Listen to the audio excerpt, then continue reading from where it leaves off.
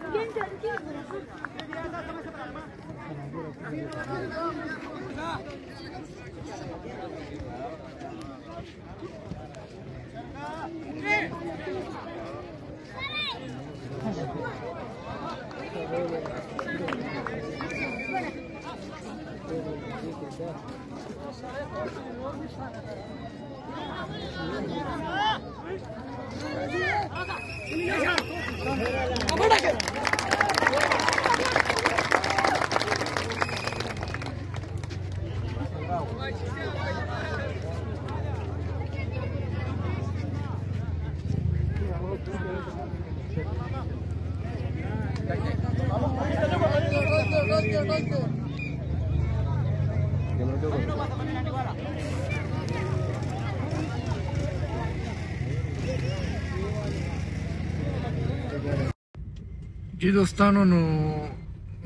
عابد نه اوس روان یم واپس ډېر ښه موسم او ما خو چې دی نو انجوای کو ښکلې مزه یې وکړو تاسو ته چې کله ټایم میلاویږي ضرور خپلو داسې علاقو ته کلو ته ځئ چې کوم ځای کې داسې سبزۍ نو ډیره مزه کوي نو زه دلته چې دی نو اوس دا ویډیو ختموم ما له راکړي اجازت او دعاګانو کې مې یاد ساتئ د الله په امان